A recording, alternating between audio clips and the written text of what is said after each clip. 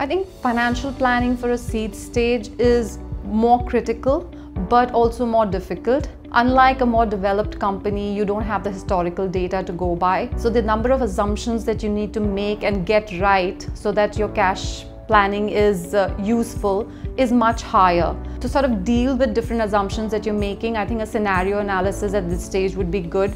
Uh, sort of an optimistic revenue, uh, you know, more level-headed revenue or drastic case situation. I think if it's a startup, like a really seed stage startup, actually even revisiting your cash flow planning on a monthly basis is a good idea. Relooking at cash balances, your runway, deciding on your level of operations and other matters, it's, it's a very important aspect of business at that point of time.